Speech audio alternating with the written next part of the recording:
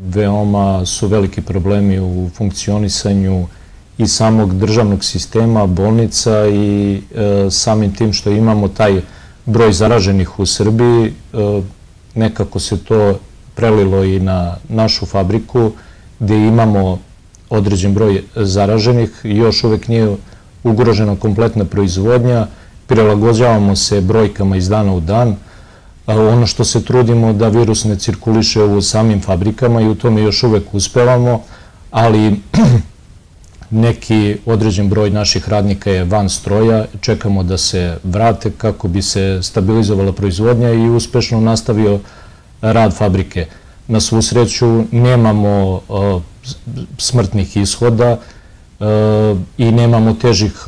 kliničkih slika svih radnika, trudimo se da propratimo sve i da pomognemo našim radnicima ukoliko je to potrebno radi daljeg lečenja i svake druge, svakih drugih vidova pomoći.